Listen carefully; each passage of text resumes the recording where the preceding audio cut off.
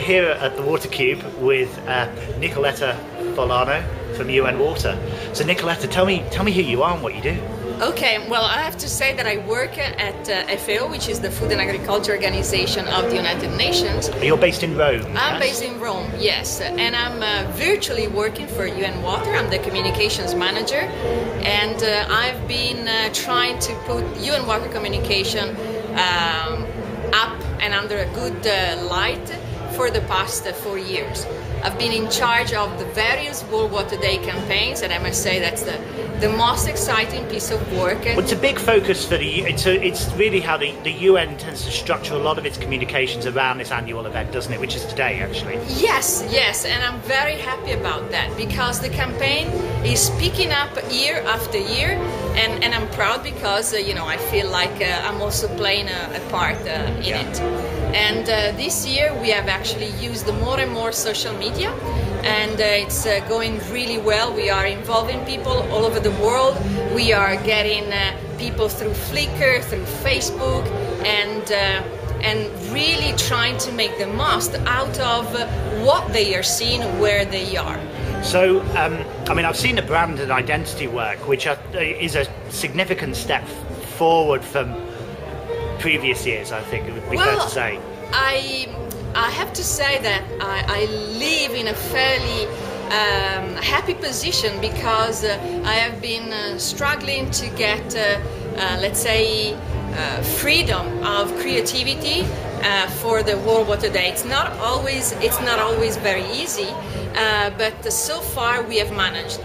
we are a small team and with a lot of uh, talent in it, a great designer, uh, people that are dealing with the social media. You know, we're, we're all doing a, lot of things, and we managed to, uh, let's say, push what we really want to go through, including the design. That is not very easy in a in an environment uh, uh, that is uh, normally as corporate as the UN. You know, it's not the outside world, the private uh, sector where you can be really uh, forward pushing. So it's not easy. So I, I can imagine getting you, know using social media tools like Flickr and Facebook and YouTube as, as well. We've got a link between WaterCube direct to YouTube yes. for, for the UN World Water Day YouTube channel. Getting this stuff adopted in the UN must be quite hard because there's not a tendency to say, "Oh, we should build our own thing. We should use have our own systems." Or...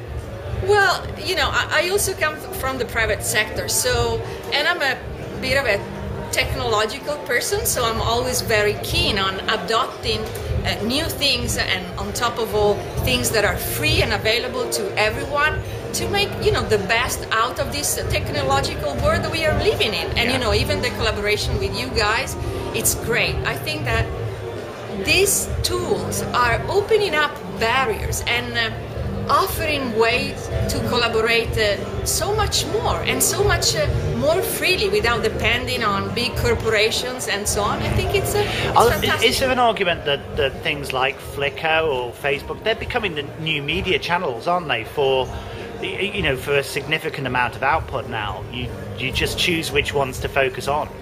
Uh, yeah, let's say that um, so far I've used the one that are you know used by most people uh, because uh, I think it's important also to reach the biggest amount of uh, public and user and you know being available to uh, talk uh, to people that are all over the world at, uh, uh, at, at, the speed of a click or an email or a Flickr on a Facebook uh, message is just fantastic. So you need to build on what's ready grown. Great. So um, it's lovely talking to you. Thank you very much. Thank you very much. Thanks.